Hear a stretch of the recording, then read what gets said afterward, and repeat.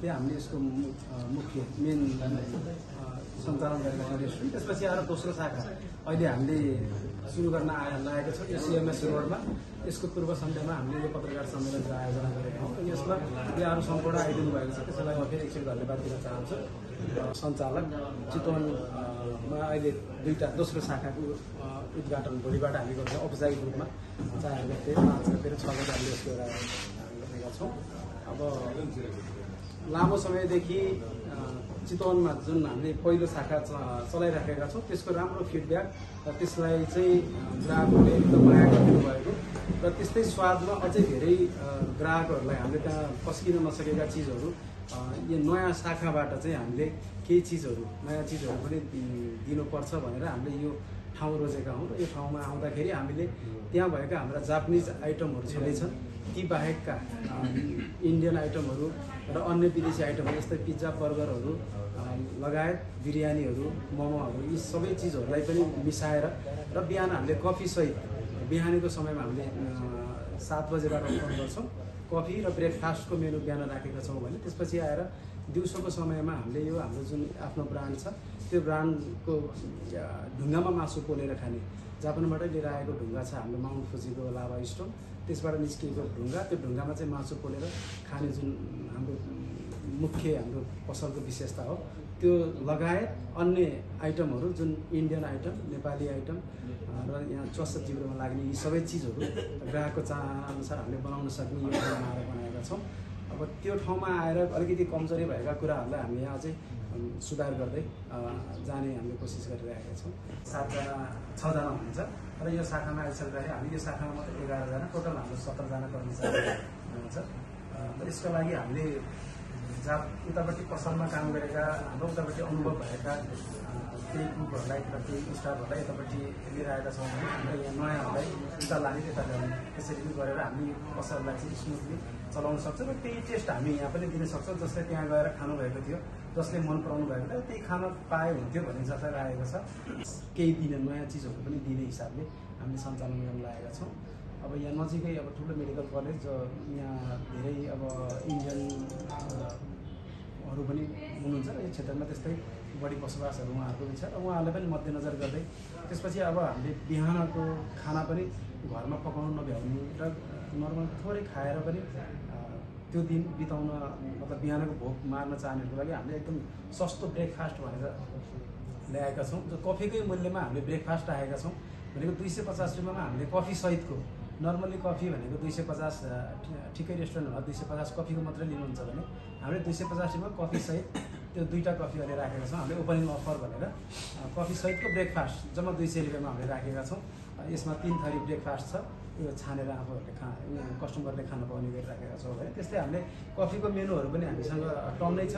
यो कफीको मेनुहरू पनि हामीले एकदम नोमिनल प्राइसबाट सुरु गरेका छौँ। र यो कफीको लागि हामीले हामीसँग एकदम लामो समयदेखि कफीमा कार्यरत दुबईमा स्टार बक्समा काम गर्नुभएका हाम्रो लामो समय लगभग दस वर्ष दुबईमा काम गरिसकेपछि नेपालमा फर्केर उहाँले बाइस्टाको ट्रेनरको रूपमा काम गरिराख्नु भएको छ। उहाँलाई हामीले कफीको लागि जिम्मा लगाएको छ। उहाँले कफीमा एकदम मजाको कफी यहाँहरूलाई दिनुहुनेछ। र हामी कफीमा कुनै पनि हामीले कम्प्रोमाइज गर्ने छैन। सस्तो मेनुमा हामीले चितवनकै राम्रो कफी दिनेछौँ भनेर हामीले तयारी गरेका छौँ भने जुन ढुङ्गामा पोलेर खाने मासुका यी लगायत यी सबै परिकारहरू छन्।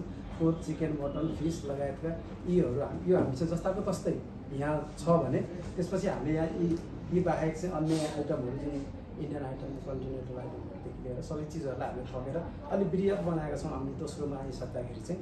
अब यहाँहरूले र तिन दिनको एउटा अफर राखेको छौँ। टोटल हाम्रो जति बिलहरू छ त्यसमा हामीले टेन पर्सेन्ट चाहिँ फ्ल्याट डिस्काउन्ट दिने जुन हाम्रो यो तिन दिनको अफर छ। त्यसभन्दा बाँकी हामीसँग विभिन्न अफरहरू फेरि छँदैछ। रिपिट कस्टमरहरूको लागि फेरि छुट हुने होइन त्यो लगायत त्यसपछि हामीले पोइन्ट कार्ड सिस्टमहरू बनाएका छौँ।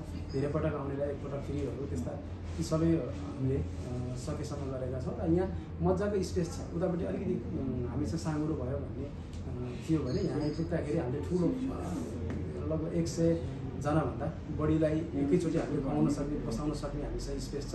त्यसपछि हामीसँग अब फ्यामिली मात्रै आउँदाखेरि बर्थडे मनाउन लिने टाइपका त्यस्ता क्याबिनहरू पनि हामीसँग उपलब्ध छन्। त्यसले गर्दाखेरि हामीसँग यहाँ अझै यो ठाउँमा आइपुग्दाखेरि कस्टमरहरूले अलिक धेरै सुविधा पाउनुहुन्छ जस्तो मलाई लाग्छ।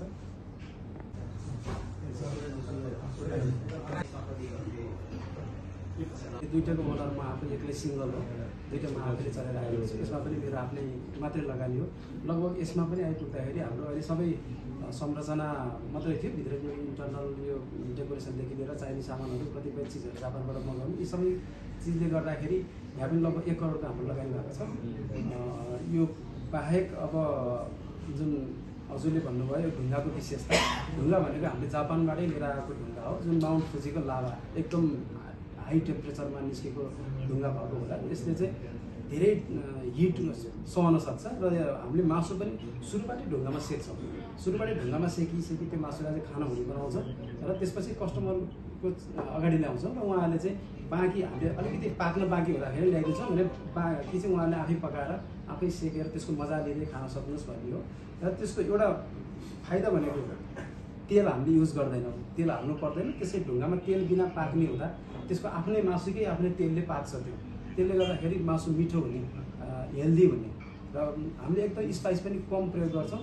त्यो कम स्पाइसले पनि मासुलाई मिठो बनाउन सकिन्छ भन्ने कुरो तपाईँहरूले यहाँ आउँदाखेरि हाम्रो कस्टमरहरूले फिल गर्नुहुन्छ। र अर्को कुरो जुन ढुङ्गामा खाँदाखेरि लास्टसम्म पनि एउटै स्वाद रहिरहेको छ। मासु भनेको मिठो हुनको लागि त्यसको टेम्परेचर त्यो तातो भइराख्नुपर्छ। प्लेटमा आएको मासुमा के हुन्छ भने त्यो एकछिन तातो हुन्छ सुरुमा चाहिँ मिठो हुन्छ तर एकछिन पछि चाहिँ त्यो सेलाउँदै जान्छ बोसो जम्दै जान्छ त्यसको मिठोपना छालीले हराउँदै जान्छ। त्यही भएर त्यो कुरालाई चाहिँ हामीले लास्टसम्म पनि सुरुको जस्तै स्वाद एउटै लास्टसम्मै भइराखोस् भनेर हामीले यो ढुङ्गाको सुरु गरेका हौँ। यो त्यही त्यसै नै हुन्छ। यो ढुङ्गाको विशेषता त्यो हो। र अर्को कुरो हजुरले जुन यो सङ्कटकाल यो अप्ठ्यारो समयमा भन्नुभएको छ। यसलाई हामीले जुन आजभन्दा नौ महिना अगाडि सुरु गरेको पसल व्यापारी फर्स्ट छ स्याउरी बजारमा रहेको त्यसमा सुरुवातको समयमा अलिकति हामीलाई गाह्रो भएको थियो नयाँ चिज हामीले बुझाउनलाई थोरै गाह्रो भएको थियो। त्यसपछि हामीले त्यसलाई फेरि परिमार्जन गर्दै र बुझाउँदै प्रचार प्रसार र एकचोटि आएका कस्टमरहरूले अर्कोलाई भनिदिने सबै कुराले गर्दाखेरि अहिलेसम्मको जुन निरन्तर फ्लो भइरहेको छ कस्टमरहरूको उहाँहरूको जुन रिपिट छ त्यसले गर्दाखेरि अब हाम्रो त्यहाँ अहिले छजना कर्मचारी र त्यहाँको अब हाम्रो हुन त्यहाँ आफ्नो आफ्नै घर हो। तर पनि हामीले त्यो भाडा एउटा चाहिँ राखेका छौँ। त्यो प्लस सबै कुरा हाम्रो स्टाफहरूको खर्च बिजुली सबै कटाउँदाखेरि पनि हामी प्रफिटमा छौँ अहिले। त्यो कारणले गर्दा निरन्तर एक महिना होइन त्यो लामो समयसम्म नौ महिनासम्म आइपुग्दाखेरि र त्यसमा चाहिँ कस्टमरहरूले अझै कहिलेकाहीँ नहट्ने अलिकति सबै कुरो भएको हुँदा र हामीलाई त्यसले गर्दा नै हौसला आएको छ। र अब हामी गर्न सक्छौँ भने हाम्रो चाहिँ अब नेपालमा नभएको चिज जापानभन्दा बाहिर हामीले नेपालमा पहिलोचोटि गरेका छौँ र हाम्रो नेपालमा भइसकेपछि अस्ट्रेलिया र सिङ्गापुरमा अहिले यही पसल ओपन भएको छ। यो सबै नेपालमै नभएको चिज कोही पनि खान नपाउने चिज हाम्रोमा आएर खान पाउने स्वाद लिन पाउने भएको हुँदा हामी यो फेरि दोस्रो पसल